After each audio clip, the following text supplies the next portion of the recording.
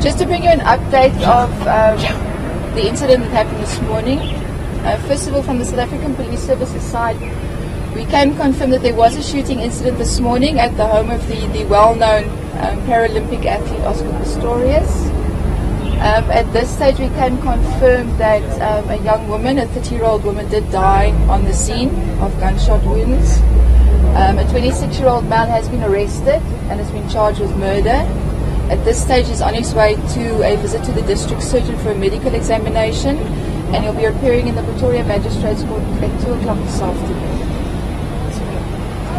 Um, we have also taken cognizance of the media reports during the course of the morning of an alleged um, break-in, or that the, the young lady was allegedly mistaken to be a burglar.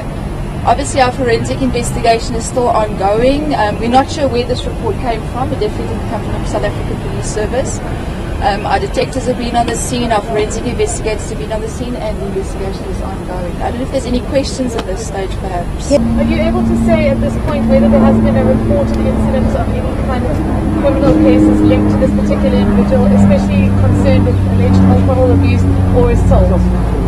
Okay, I can confirm that. Um, I can't confirm whether it's related to the person who's been arrested, but I can confirm that there has previously been incidents at the home of, of Mr. Oscar Pistorius. What can you just yeah. I'm not going to elaborate on that. There have previously been incidents of violence or incidents of alcohol abuse? of allegations of domestic nature. Domestic violence.